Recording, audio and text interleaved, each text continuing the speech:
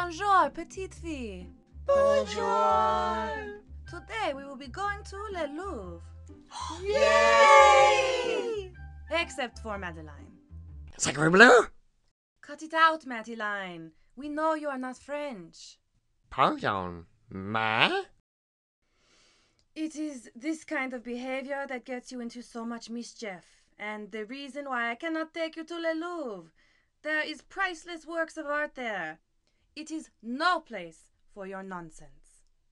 Nonsense? I'm the bravest and most outgoing one of all. I'm special.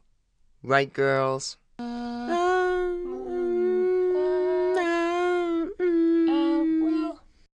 Every time we go somewhere, you always end up in trouble. What are you talking about? Well, off the top of my head, last spring I tried to take you girls out to a lovely bridge with a beautiful view of the Seine River. And what did you do? You attempted to frighten me by jumping into the river. We got a dog out of it, didn't we? You just had to make that day all about you, didn't you, Madeline?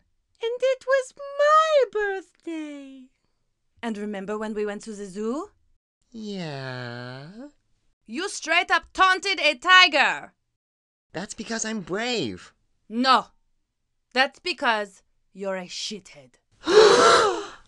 Later that week, you did the same to a ghost. Poo poo! Does that ring any bells? It is not funny, Madeline. And tigers are very dangerous.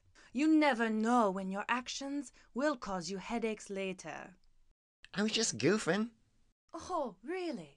Yeah, classic goof. What about the time you joined a gang of gypsies?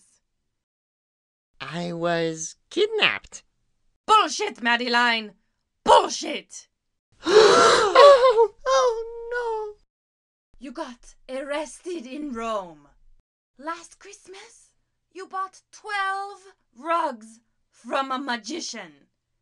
And when you went to the White House, you convinced a conjuring rabbit to make a tide of fucking cherry blossoms so that you could fly. She got to fly? Oh, that's just me being me. You know, how I do.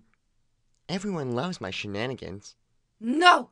You are a liar, you are a cheat, and you are a brat.